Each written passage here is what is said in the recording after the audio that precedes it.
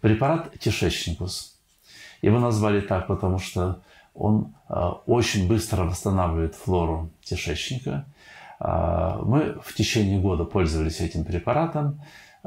И когда началась эпидемия коронавируса, мы его доработали. То есть помимо того, что он улучшает пищеварение, он очень хорошо работает даже при таких сложных заболеваниях, как болезнь крона, и он восстанавливает средство кишечника.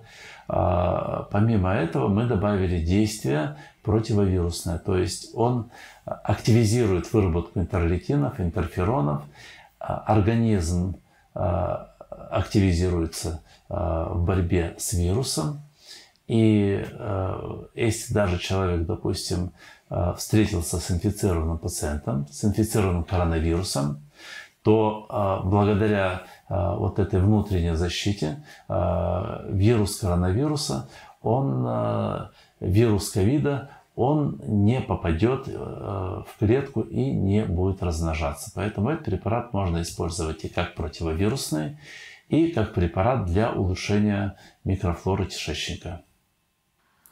Кишечникус в первую очередь используется при нарушении микрофлоры кишечника.